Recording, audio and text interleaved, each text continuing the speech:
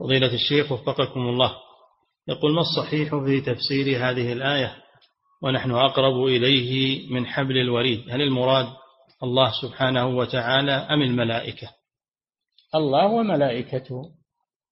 الله وملائكته. وفي الآية الأخرى ونحن أقرب إليه منكم. يعني المحتضر. ولكن لا تبصرون. الله جل وعلا وملائكته أقرب إلى المحتضر. من الحاضرين عنده. نعم. فضيلة الشيخ ولكنهم لا يبصرون. نعم.